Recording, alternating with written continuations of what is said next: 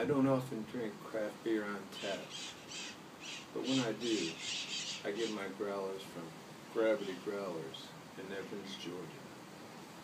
Keep growling, my friends.